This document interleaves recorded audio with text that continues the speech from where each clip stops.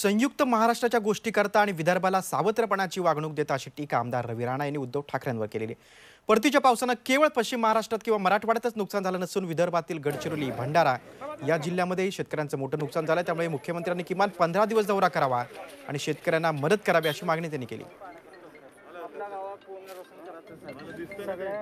मुख्यमंत्र्यांनी या सात आठ महिन्यामध्ये त्या विदर्भामध्ये एकाही जिल्ह्यामध्ये पाऊल ठेवलं नाही.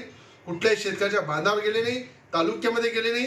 म्हणून मुख्यमंत्र्यांना सांगणं आहे माझं की विदर्भाला सावत्रपणाची भूमिका देऊ नका. सावत्रपणाची वागणूक देऊ नका. संयुक्त महाराष्ट्राच्या गोष्टी करता तर विदर्भामध्ये सुद्धा प्रत्येक जिल्ह्यामध्ये फिरा तालुक्यामध्ये फिरा आणि संपूर्ण महाराष्ट्रात फिरून फक्त एक दिवस दौरा नाही तर संपूर्ण महाराष्ट्रामध्ये पंधरा दिवसाचा दौरा करा.